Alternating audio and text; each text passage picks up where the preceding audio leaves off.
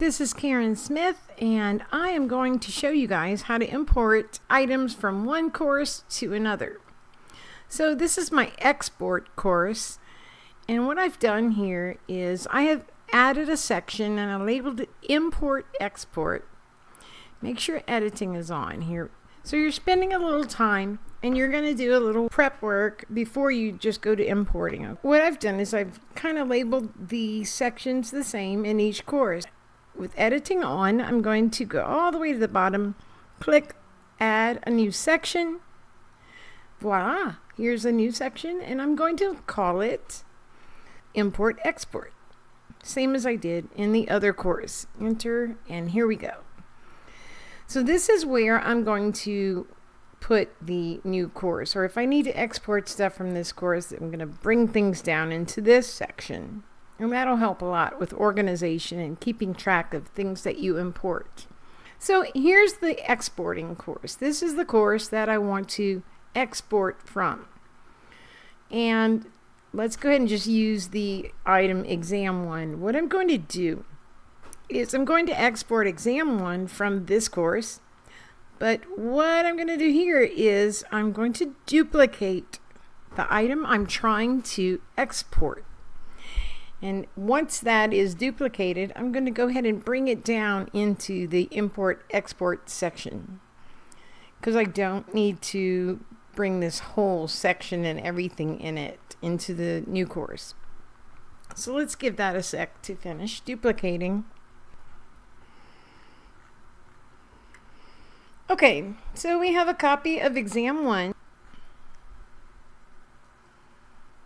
Of course, you want to open that section and then bring the duplicate of exam one and drop it right into the import export section. I can actually do this. I'm going to, instead of copy, I'm just going to call it exam one.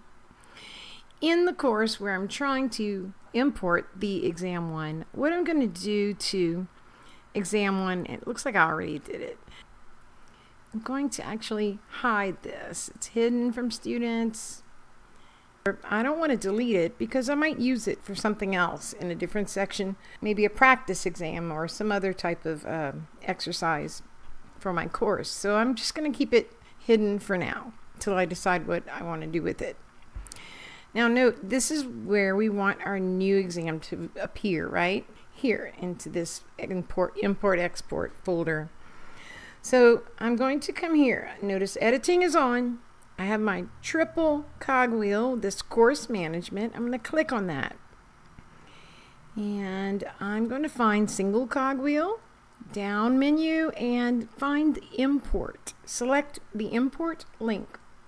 We are on the course selection page. We need to find the course we're trying to import from. Now, notice I want to import from ASMRI essays. Um, there we go. Select that course that we're trying to import from and continue. Now we're on the initial settings page. Under initial settings, all the boxes are checked when it comes up. Uncheck everything we don't need. So this is an activity and resources. We want that checked. We don't want all the blocks files, filters, calendar events. We do want the question bank because that's where all the questions for my exam are. So we want that.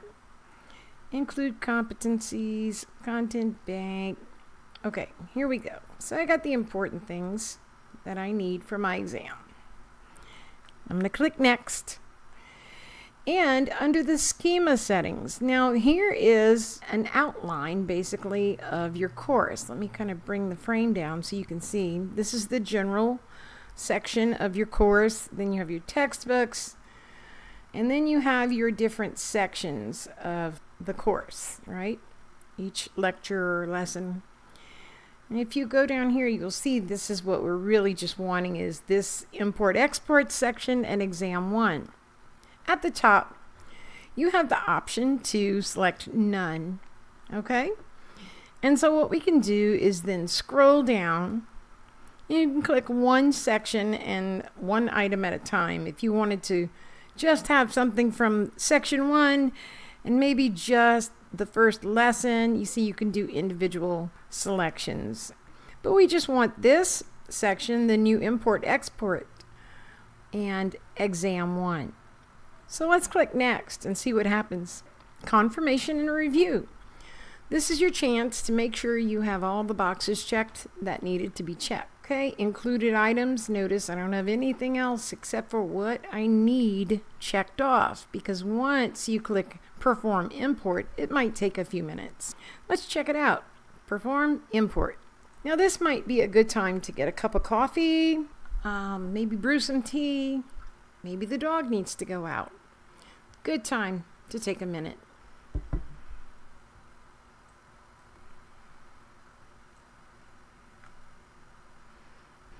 Notice that my new exam one is in the course. Now, I want you guys to note a couple of things. If this doesn't work for you and you get an error message and then you go to check and it did not work and what is happening, it could be that you need to have the same amount of sections or openings, lectures open. So when I added this import export, I made sure it was in, in the 20th section for this course. Okay. When you're adding to do your import export, you may need to be aware of that. If it doesn't work out for you, that could be something to troubleshoot. At any rate, here we are with our newly edited exam one, and now we can put this into the section it belongs in, into the updated exam. And what I'll do is I'll just go ahead and take this old exam and just put it down here for now. It's this whole section again is hidden from students. And it's just a good little neat way to temporarily hold items you may want to use. Like maybe you need a practice exam. This has been how to import from one course into another. And here it is. All right, you guys, have a great day. Happy teaching. I'll talk to you soon.